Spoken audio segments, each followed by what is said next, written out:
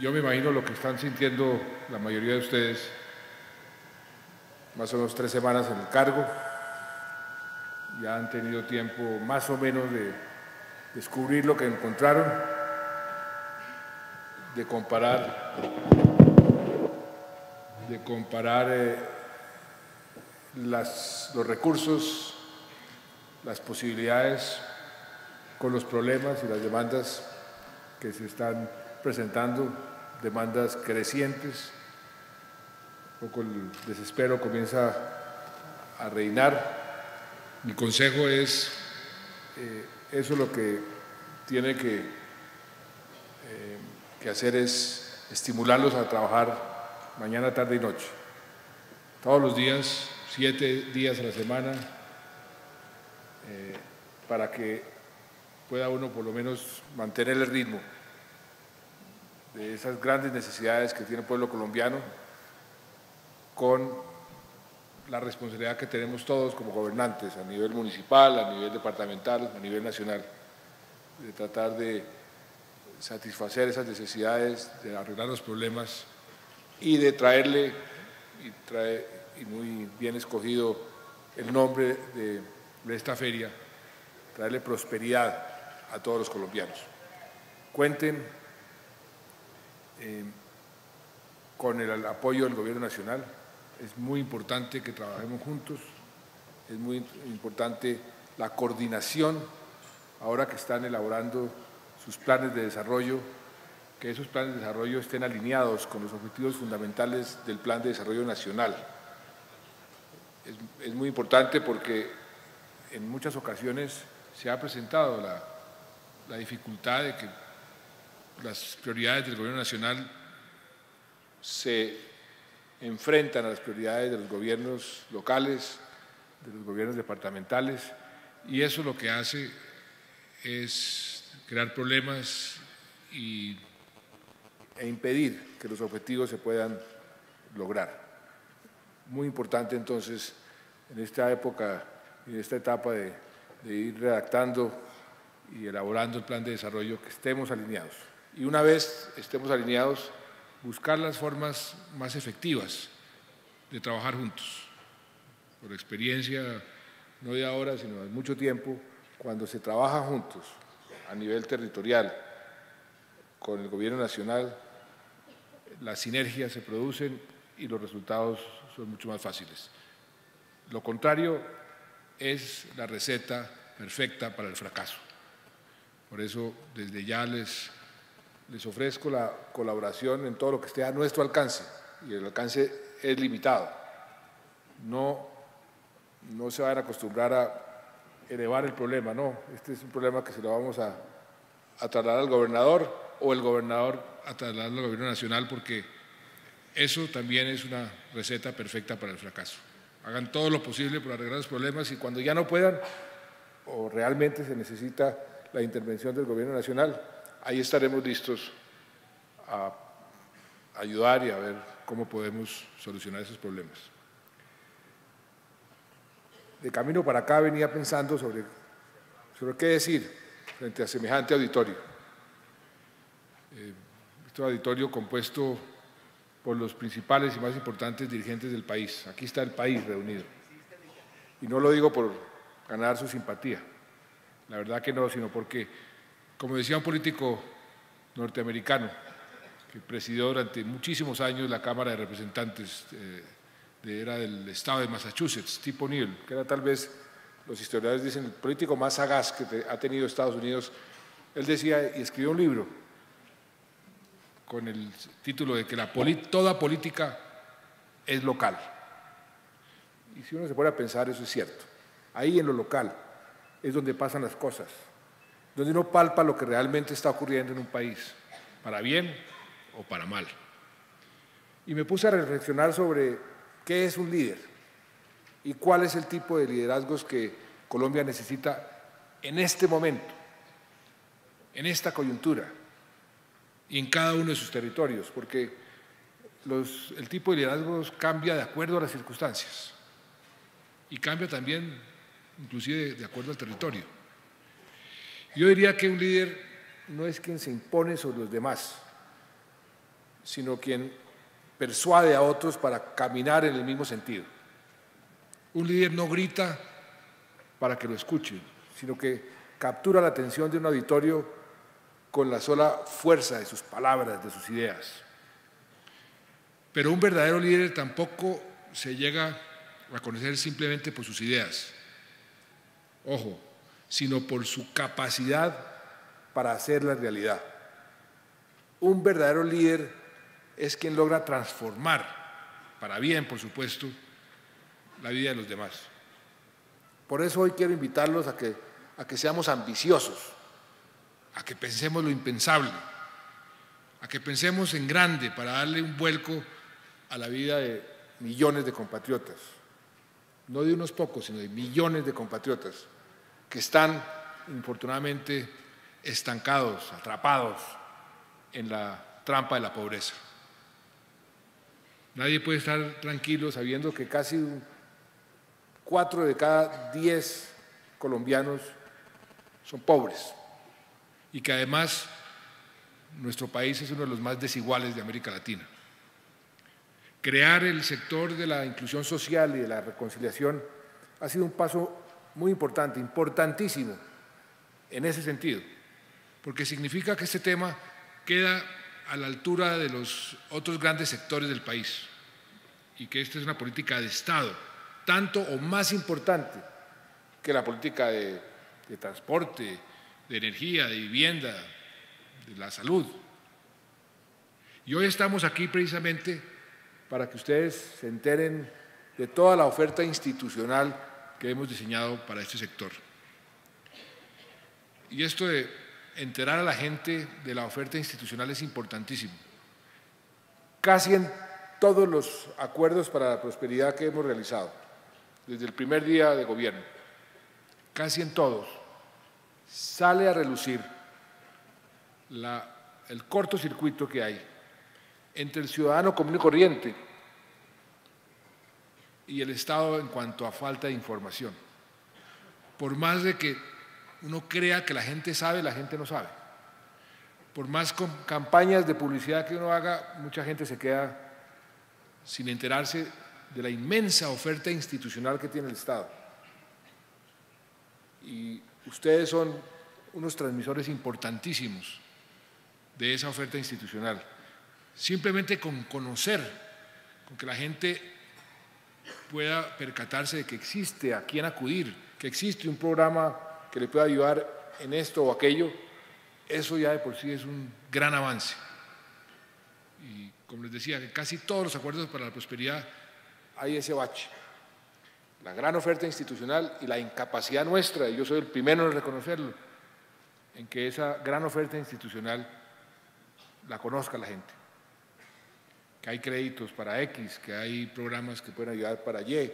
Eh, hoy, por ejemplo, Todavía estamos viendo cómo mucha gente cree que los colegios eh, oficiales eh, tienen que pagar.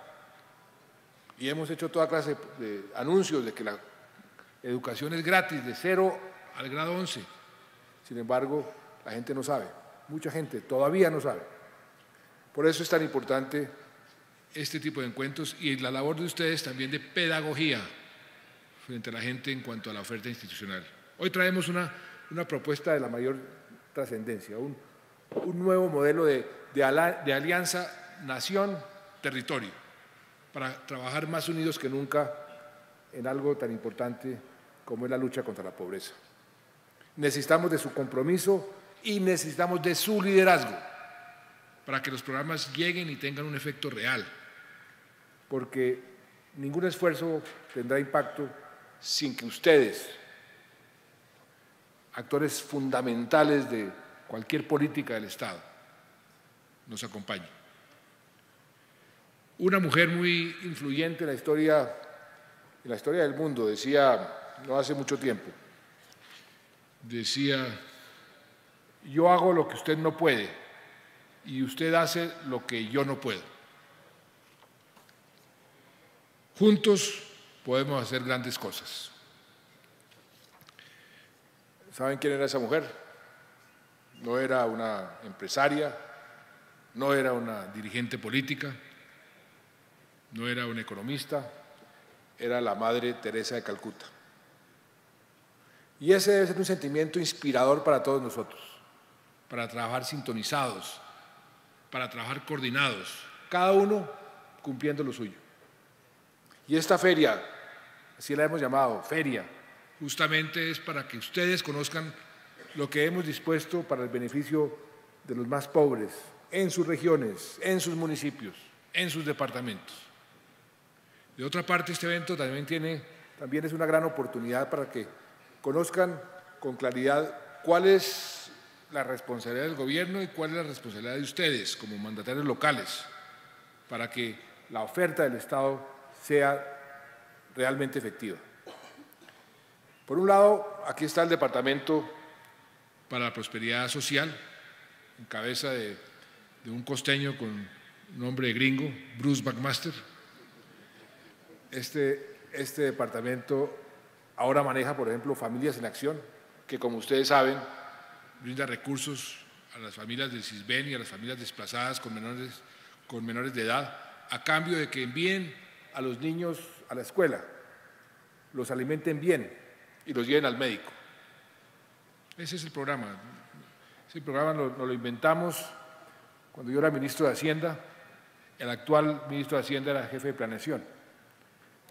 Eh, y es un programa que ha venido tomando más y más importancia y no, no es necesario decirle a ustedes la importancia que hoy tiene, todos, todos ustedes saben eh, lo importante de este programa. ¿Y cuál es el rol de ustedes ahí? Disponer, por ejemplo, de los recursos físicos y humanos, de los centros de salud, de los médicos, de las escuelas y los maestros, para garantizar la oferta en salud y en educación que estamos ofreciendo y facilitando desde el gobierno. Su tarea también es de hacerle seguimiento, seguimiento a los compromisos de las familias, para que no vayamos a perder semejante inversión. Y, vuelvo a repetir, difundir el programa para que se incorporen nuevos beneficiarios. Aquí no podemos dar un paso atrás, luego de avances muy importantes que hemos alcanzado en este frente. Fíjense en otro de los programas del Departamento de la Prosperidad, el de generación de ingresos, que agrupa una serie de actividades sociales y económicas para que los colombianos más vulnerables conformen redes productivas y fortalezcan sus capacidades, además de acceder al sistema financiero, al mercado laboral y a proyectos de emprendimiento, porque el emprendimiento nace de abajo. Ahí también hay unos avances eh, que hemos hecho en, lo corrido de este gobierno. Por ejemplo, más de 80 mil 80 mil mujeres que atienden pequeños negocios entraron al sistema microfinanciero y fortalecieron sus capacidades empresariales. Otras 85 mil familias fueron atendidas por la Red de Seguridad Alimentaria, que es una estrategia para que las comunidades administren unidades de producción de alimentos promoviendo el consumo local. Este es un programa lindísimo, poco conocido. Y yo me, he puesto en, averiguar en, muchos sitios si conocen el programa, no lo conocen mucho. Pero donde está funcionando, no se imaginan los beneficios que está trayendo. Además, se han creado 20.000 empleos temporales y permanentes, lo que aunque parezca poco, significa una enorme oportunidad para colombianos que estaban completamente marginados del mercado laboral por su falta de competencias. Y aquí la premisa es muy sencilla. Más ingreso, más empleo y más ahorro equivalen siempre a menos pobreza. Esa sí es una máxima irrefutable. Por supuesto, falta muchísimo por hacer y el alcance de estas estrategias se debe multiplicar con ustedes, con los mandatarios locales. ¿Cómo? Buscando recursos de donde se puedan encontrar de la empresa privada para incentivar la generación de alianzas, monitoreando los proyectos para que sean sostenibles y, muy importante, ofreciendo programas locales que sean complementarios a los programas del Gobierno Nacional.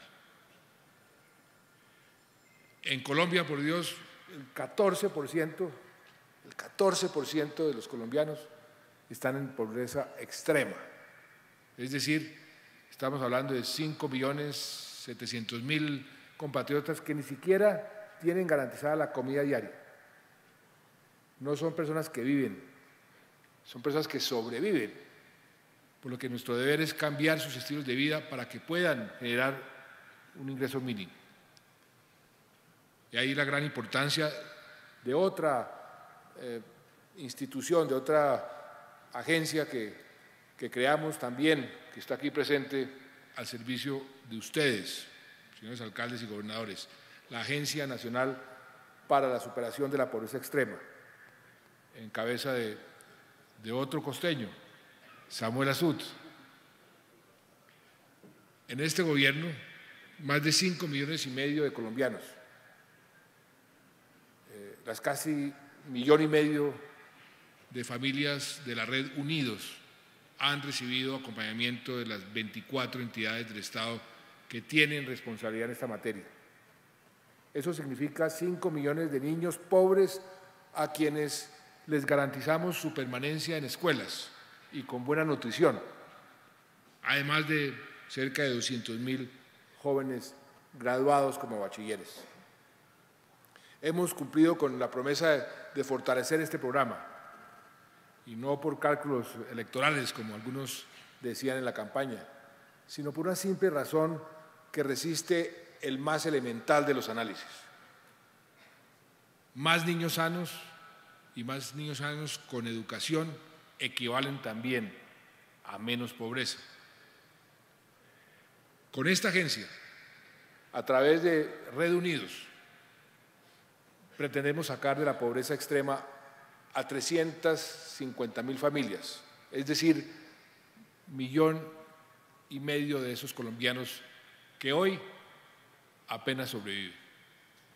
Ese trabajo sin duda aportará en gran medida a nuestra meta de bajar el porcentaje de pobreza extrema a un dígito, que fue una promesa de campaña. Está en más o menos 12 y pico, 12, 3%. Es el último registro que tenemos y lo queremos bajar a un dígito, como lo hicimos con el desempleo. Y aquí hay un plan concreto que nos permite reducir el número de pobres y no por simple inercia, sino yendo directo a, esas familias más pobres para darles una mano y pasarlos al otro lado, pasarlos, sacarlos de la pobreza extrema. Y afortunadamente contamos con, con todo un ejército social casi 10.000 soldados azules desplegados por todo el territorio. Y me refiero, por supuesto, a los cogestores, que acompañan a, estas familias en, sus procesos y, y, las empoderan para que, primero que todo, abran los ojos y se den cuenta que hay una vida más allá de la miseria.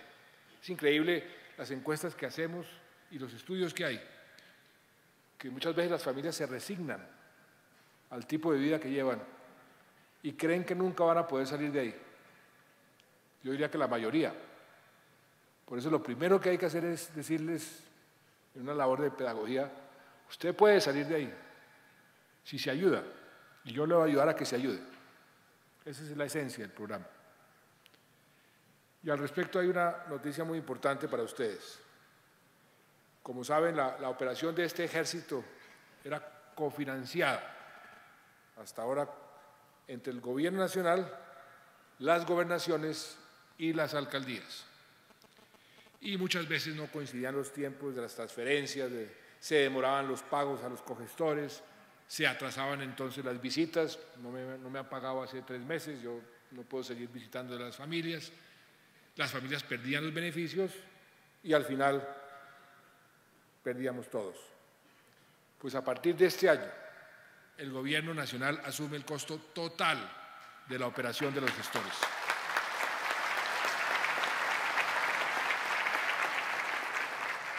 Lo que implica una inversión de cerca de, de más de medio billón de pesos, son 510 mil millones de pesos, eh, para ser exactos, en los próximos tres años. Y eso es plata que se van a ahorrar ustedes de sus presupuestos. A cambio, necesitamos un, un profundo compromiso de su parte, porque esta batalla no se gana desde Bogotá, sino se gana con ustedes, eh, como, como generales, como oficiales combatiendo desde sus regiones. Y, y ojalá no suceda lo que muchas veces sucede, que como asumimos el costo y somos los que pagamos, antes había muchos alcaldes que como pagaban, pues les interesaba el programa. Como ahora no pagan, no les interesa el programa. Sería un gravísimo error. Ojalá que sea al contrario, que como estamos pagando nosotros, redoblen los esfuerzos de ayudarnos, porque al fin y al cabo, ustedes, nosotros, estamos trabajando por el mismo objetivo, nuestros compatriotas, en este caso los más pobres. Y a ustedes les debe interesar, más que a nadie, que en sus, en sus municipios saquemos la mayor cantidad de gente de la pobreza extrema. Por un lado deben empaparse eh, y conocer bien e internalizar, como acariciar, como acariciaron los libros, de la llamada senda de la prosperidad, que es una, una metodología que ayuda a identificar esas familias con el potencial para superar su condición de pobreza extrema en los próximos tres años. En otras palabras, esa, metodología que a propósito ya he recibido eh, muchos comentarios de expertos a nivel mundial que la han venido estudiando, hoy es ejemplo mundial por su relación costo-beneficio. Eh, nos permite invertir recursos en familias con cierto terreno abonado, familias que tienen alguna, algún avance para darles ese empujón final. El año pasado estuvimos modernizando el sistema de información y, y capacitando a los cogestores, de manera que este año sacaremos de la pobreza extrema, vamos a graduar a 113 mil familias que ya están totalmente identificadas, que es la tercera parte de lo que queremos graduar en el cuatrenio. E hicimos unos ejercicios que vamos a repetir este año, que fueron muy, muy interesantes y muy aleccionadores. Nos fuimos todo el gabinete. Este caso fue en Cincelejo, con eh, Samuel Azud y desde el presidente de la República, su familia, todos los ministros, todos los altos consejeros hicimos de cogestores. Nos fuimos cada uno con eh, la tablita para ir eh, midiendo el estado de avance de cada familia y nos fuimos cada uno para una familia, a convivir con esa familia durante toda una mañana, a preguntarles cuántos niños viven en, un cuarto, de qué está hecho el suelo, si tienen agua, si tienen luz, si los niños están yendo al, colegio, si hay, ya hay una serie de indicadores. Fue muy interesante porque cuando regresaron los ministros y los altos consejeros, muchos estaban con los ojos aguados, muy impresionados del ejercicio y de ver la obligación que tenemos todos de ayudar a esos compatriotas que están en pobreza extrema. Ese ejercicio lo vamos a, seguir repitiendo y ojalá lo repitieran ustedes, porque sensibiliza.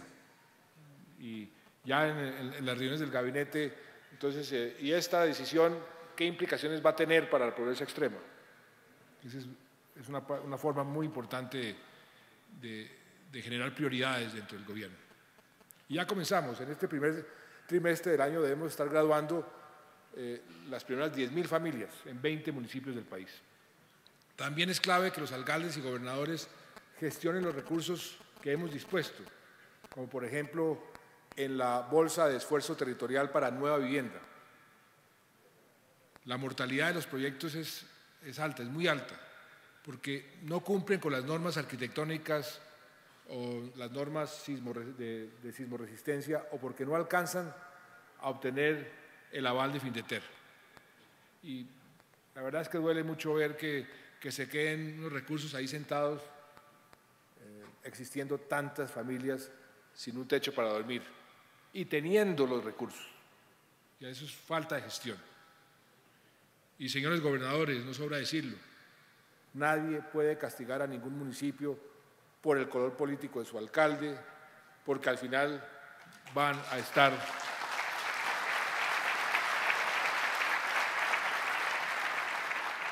van a estar castigando a su propia gente.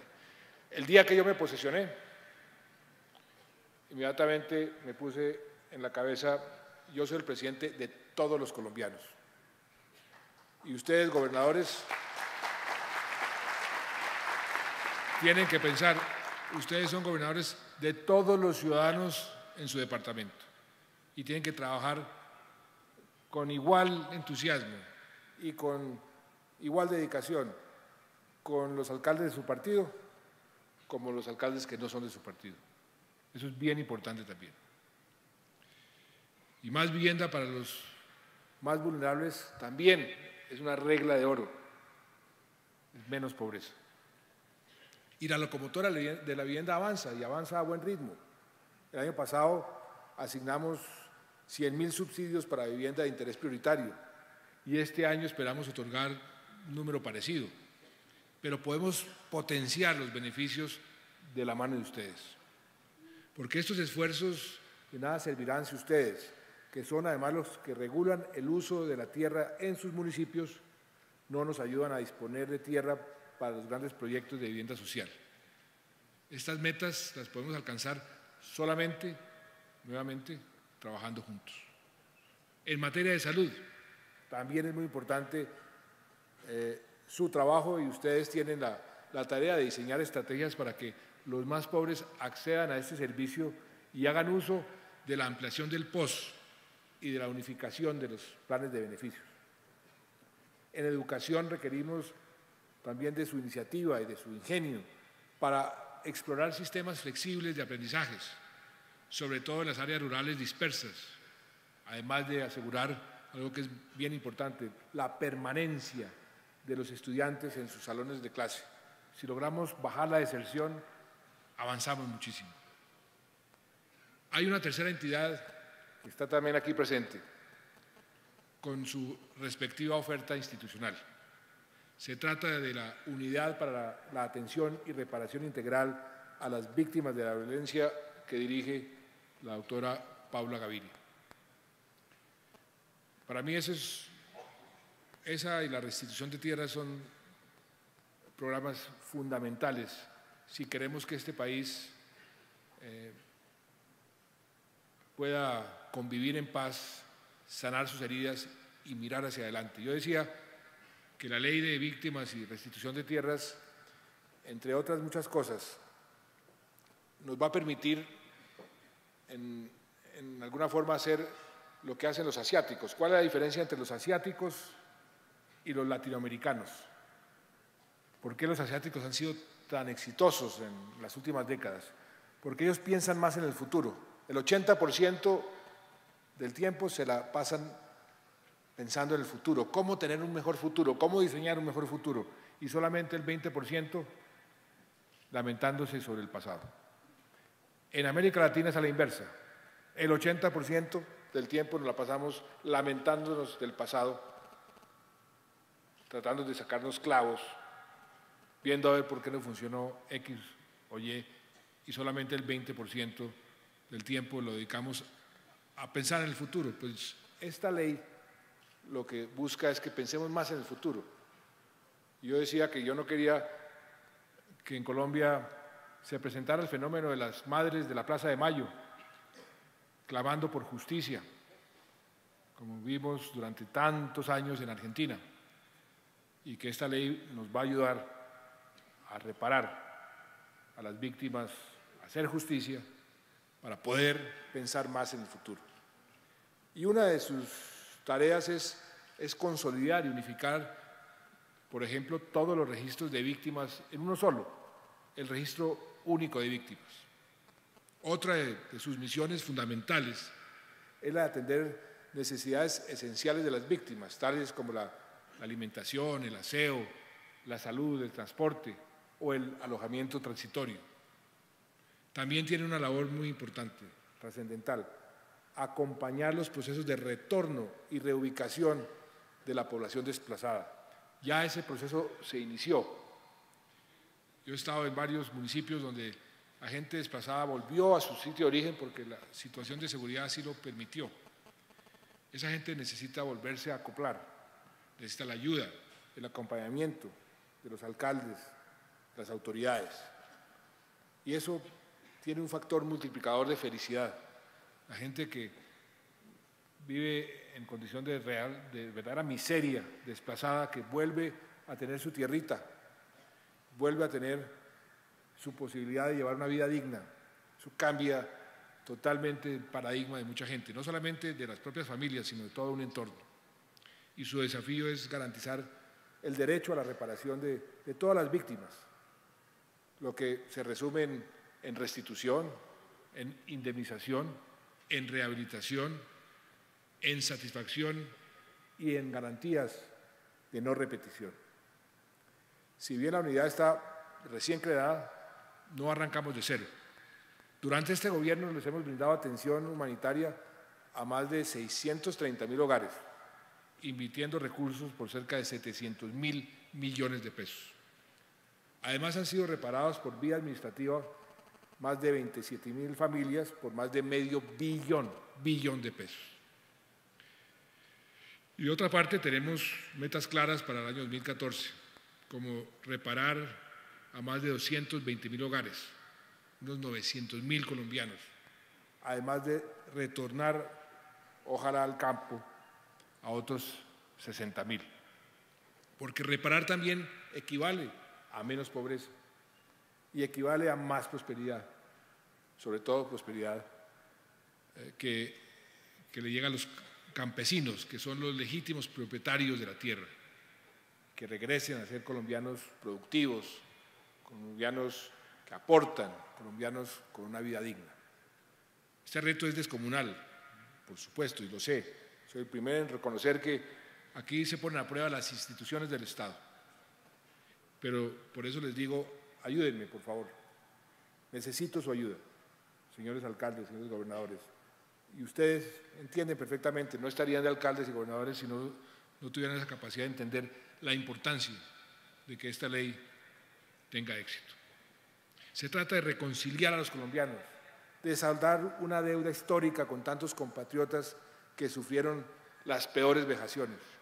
Y por eso necesitamos de la unidad nacional y precisamente la unidad de víctimas también está encargada de coordinar a las entidades nacionales y territoriales para implementar esta ley, esta ley de reparación de, víctimas y restitución de tierras. Y de su parte esperamos también que, que dispongan de los recursos humanos, estructurales y también presupuestales necesarios para que esta ley tenga éxito. Ustedes, por ejemplo, deben apropiar recursos en sus planes de desarrollo para la operación de los centros regionales de atención y reparación. También necesitamos que tengan iniciativa y participen activamente en los procesos de retorno y de reubicación de los desplazados. Y para ello están los comités territoriales de, justicia transicional. Ahí hay una instancia eh, formada para eso. Y su misión va a ser desde brindarles seguridad a las víctimas, por ejemplo, a las que sean reubicadas, hasta garantizarles espacios efectivos de participación a nivel local, que se vuelvan a sentir parte de la comunidad. Los invito además a aprovechar esta oportunidad para que sean aliados del Centro de Memoria Histórica, otra de las instituciones que hace presencia en esta feria. Aquí está el doctor eh, Gonzalo Sánchez, director del centro, con todo el interés de escuchar sus propuestas y sus iniciativas para construir juntos ese archivo que nos permita recordar las atrocidades que aquí en este país ocurrieron, pero sobre todo para que nunca más se vuelvan a repetir.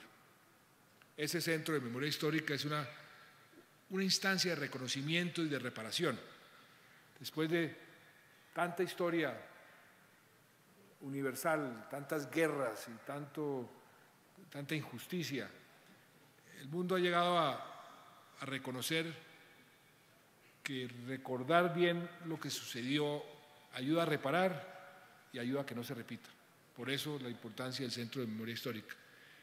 Y por eso por eso mismo es también un instrumento de los mandatarios locales, para que ayuden a las víctimas en sus territorios a encontrar respuestas a las preguntas que, que más los inquietan. ¿Qué pasó? ¿Quién lo hizo? ¿Por qué? ¿Por qué semejante atrocidad? ¿Dónde pasó? ¿Cuándo? Esas respuestas a los que no hemos sido víctimas no nos parecen importantes. No se imagina la importancia para el que sí ha sido víctima. Una persona que se le desapareció su hijo, su padre, su esposo, su esposa. Estas preguntas requieren respuesta. Una quinta entidad que también hace su oferta en esta feria es la Unidad Administrativa para la Consolidación Territorial, que dirige el que está a la extrema izquierda, el doctor Álvaro Balcázar. Nuestra política de consolidación moviliza múltiples fuentes de recursos institucionales y uno de esos es la estrategia que hemos denominado Colombia Responde. Con este programa llegaremos a, a 51 municipios que están debidamente identificados y focalizados, atendiendo sus necesidades de infraestructura social y estimulando proyectos de generación de ingresos. Para implementar esta estrategia vamos a invertir en los próximos cuatro años, ya tenemos recursos por casi 200 mil millones, perdón, 200 millones de dólares. Y, y, es una cifra que la cito en dólares porque incluye aportes de la cooperación internacional, un gran interés Sandra Besudo en este programa para que consigamos más y más recursos. Hay un gran interés en el programa de reparación de víctimas, de restitución de tierras y de consolidación. Y hay por el mundo entero muchos recursos por ahí buscando dónde invertirlos. Los filántropos, los ricos del mundo eh, están buscando dónde invertir esa plata. Aquí hay una gran oportunidad. Esta es una estrategia de gran ayuda para los alcaldes, porque se trata de un instrumento que simple y llanamente canaliza recursos hacia sus poblaciones. Y precisamente la tarea de las administraciones locales es elaborar estudios y diseños de proyectos que tengan un alto impacto para el desarrollo de los municipios. Entre mejor elaborado el proyecto, entre más alto el impacto, más posibilidades tienen que esos recursos lleguen. Y el rol de los mandatarios cuyas poblaciones están cubiertas por la política de consolidación, como les digo, ya están ubicadas, es involucrarse a fondo en los procesos participativos de planeación y en la ejecución de las acciones que eh, corresponde al, al programa Colombia Responde. De otra parte, esta unidad de consolidación también será una aliada permanente de los alcaldes para ayudarlos a gestionar eh, recursos también con el gobierno, Muchas veces hay proyectos específicos que requieren el concurso del gobierno. La agencia está para ayudarles a ustedes a gestionar recursos con el gobierno eh, y también recursos del sector privado. Esta unidad además apoyará la formulación de proyectos para que queden bien hechos. Sabemos de muchas veces las dificultades para estructurar bien un proyecto eh, y ahí les vamos a ayudar, les vamos a ayudar a estructurar porque, vuelvo y repito, entre mejor estructurado y más alto el impacto, mayor la posibilidad de conseguir los recursos. Y así se aumentan las probabilidades de que se vuelva una especie de bola de nieve virtuosa. Más programas, más recursos, eh, recursos que asignan eh, las entidades del gobierno, internacionales, inclusive privadas. De manera que la tarea de ustedes, señores mandatarios locales, es llamar y molestar al equipo del doctor Balcázar para que reciban asesoría permanente y aprovechen los beneficios de nuestra política de consolidación. Y lo digo en el buen sentido de la palabra, generalmente las políticas de consolidación se hacen en los sitios más apartados porque el criterio para escoger esos municipios fue un criterio que tiene que ver también con la lucha por la seguridad. Eh, aquellas zonas del país que más han sido afectadas por la violencia, eh, donde ha dominado más eh, durante décadas los grupos armados ilegales, ahí es donde queremos consolidar, consolidar la presencia del Estado, fuerza pública más el Estado. Y por eso Generalmente son municipios que no tienen muchos recursos y que no tienen capacidad de gestión. Por eso, una de las labores es ayudar a gestionar. Finalmente, hay una sexta institución en esta feria eh, para que ustedes le saquen el máximo provecho. Es una institución muy querida por todos los colombianos, el Instituto Colombiano de Bienestar Familiar, que está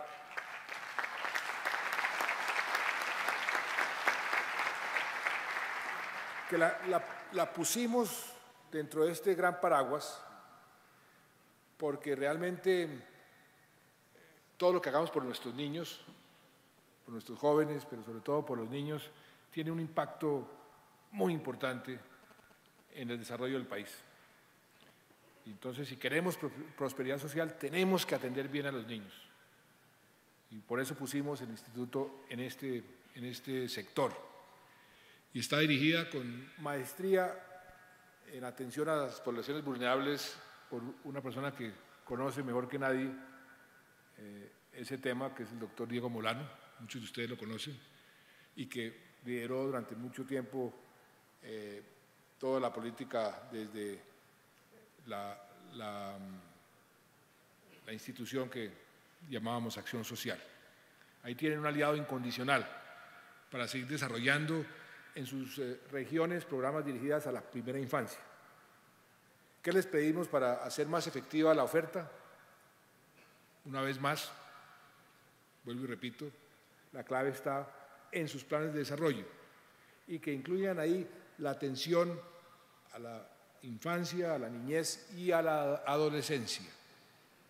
También es preciso que hagan inversiones complementarias y que los recursos asignados en el Sistema General de Participaciones se utilicen en los programas de alimentación escolar y de primera infancia, apoyando la estrategia del Gobierno Nacional de cero a siempre. Eh, es tan importante esta estrategia que aquí trajimos un premio Nobel, Nobel de Economía, que se ganó el premio Nobel porque comprobó que la inversión más rentable socialmente que puede hacer una sociedad es la inversión en los niños en primera infancia. No hay inversión más rentable y no se requiere ser un Nobel de Economía un poco para, para entender que un, niño bien tratado, un niño que, que en sus primeros años crece con amor, un niño que crece bien alimentado y que le enseñan a aprender. Después va a ser un ciudadano más productivo, un ciudadano tolerable, un ciudadano respetuoso y un ciudadano que aporta a la sociedad. Por eso es tan importante esa primera infancia. Durante este gobierno, con el apoyo de los alcaldes, 550 mil niños entre 0 y 6 años han sido atendidos en desarrollo del programa de primera infancia y hemos alcanzado 4 millones de cupos en alimentación escolar. El año pasado graduamos a 11.000 11 madres comunitarias de las 80.000 que hay en todo el país. Y seguiremos capacitándolas, porque ellas son la columna vertebral que sostiene esta estrategia de cero siempre. Nos falta mucho, muchísimo trabajo por hacer, pero podremos cumplir las metas solamente si trabajamos juntos, con el concurso de ustedes. Tan solo este año, por ejemplo, prevemos llegar a más de 670 mil niños con atención integral en primera infancia, además de 550 mil familias con bienestar, que nos permiten reducir los índices de violencia intrafamiliar, reducir el abuso y el uso de drogas en las familias que estamos graduando en la Red Unidos. Y sencillamente, niños mejor alimentados y familias más estables también equivalen a menos pobreza. Y solo quiero terminar haciéndoles un llamado muy especial para que nos comprometamos todos, todos con un programa muy interesante que puede arrojar grandes resultados. Se llama Ciudades Prósperas para los Niños y Adolescentes. Es una nueva estrategia liderada por el Instituto, por el ICBF, de la que va a hablar el doctor Molano, que hace parte de una iniciativa internacional para que los niños tengan, en cierta forma, voz y voto y para que escuchemos eh, qué quieren los niños. Muchas veces eh, dicen que los niños y los borrachos le dicen a uno la verdad. Muchas veces los niños se dan cuenta de ciertas cosas que uno a veces no percibe. Muy importante también escucharlos, que, además eh, tiene un valor democrático interesante. Entre más participativa sea una ciudadanía, la democracia es más fuerte. ¿Esto, ¿Esto qué significa? Que si los niños de un barrio de pronto quieren un tobogán, o si un, pequeño está preocupado porque su papá le pega a su mamá, eso lo debemos tener en cuenta en el diseño de los planes de desarrollo, para que puedan de alguna forma tener una, una voz y ser escuchados. Se trata de trabajar por un legado trascendental, ciudades prósperas y felices pensadas para los niños. Y al fin y al cabo todos nosotros estamos trabajando para nuestros hijos y nuestros nietos. Queremos dejarles un mejor país. Pongámonos en sus zapatos y, verán cómo eh, ese proceso complejo de toma de decisiones se facilita. Es cuando tiene uno principios y valores, está uno confundido. Si tiene principios y valores, se le facilitan las decisiones. En el caso de los dilemas que se enfrentan los gobernantes, si uno tiene en la cabeza a los niños, también se le facilitan las decisiones. Y no olvidemos la protección de la mujer y de la mujer de la, protección que debe tener de la violencia intrafamiliar, sin la cual es imposible pensar en una familia feliz. Por último, quiero resaltar que no solo existen los programas y recursos a los que ya me referí, sino que también, gracias a la reforma a las regalías, hay un cupo asignado por cerca de 400 mil millones de pesos para más de 700 municipios del país que tienen necesidades básicas insatisfechas superiores al 35%. Son 400 mil millones de pesos adicionales a sus presupuestos que, que podrán destinar a proyectos de impacto social en sus regiones alineados con sus planes de desarrollo y ojalá alineados con los planes de desarrollo del gobierno. Y no olvide también que cuentan con el apoyo de FONADE para la estructuración de esos proyectos y de todos los demás que puedan realizar con los recursos del sistema de regalías. Aprovechen eso, aprovechen, eh, aprovechen eso porque realmente es un cambio muy importante. Estaba eh, en, el, en el departamento eh, donde estuve hace poquito, em, en Córdoba.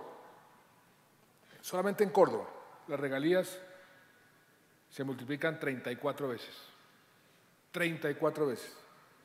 Imagínense lo que pueden hacer con regalías que se multiplican 34 veces cada año, bien invertidas.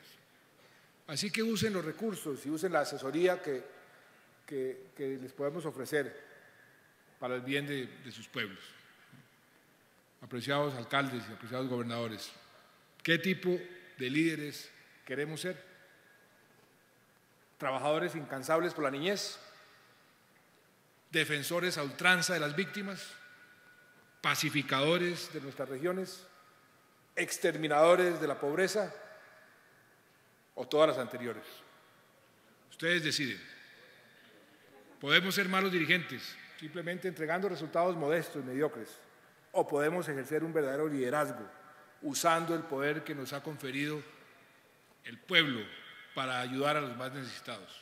O mejor aún, podemos asumir el llamado que debe tener todo líder, a ser, un, líderes históricos. Y para ello debemos transformar la faz de esta, de esta gran nación. Y para ganar ese honroso título, tenemos el desafío de revolucionar las vidas de millones de colombianos. ¿Eso es soñar demasiado? No, eso es posible. Si somos líderes de verdad, eso no es soñar demasiado. Porque un buen líder no es un soñador, no es un soñador que se queda dormido soñando.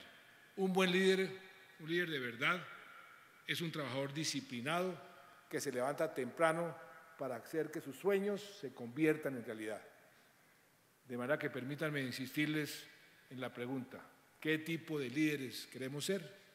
Que lo recuerden a ustedes y me recuerden a mí, que lo recuerden a todos como líderes responsables, que le apostamos todo, con total compromiso, por reducir la pobreza y las brechas de desigualdad en nuestro país. Si lo logramos, podremos irnos tranquilos a nuestras tumbas. Habrá valido la pena gobernar. Y ustedes harán parte, con todo el equipo de mi gobierno, que conforma este gran sector de inclusión social y reconciliación, de lo que he llamado el Comando General de las Fuerzas Sociales de Colombia. Bienvenidos alcaldes y gobernadores al Ejército Social de Colombia. Muchas gracias. Thank you.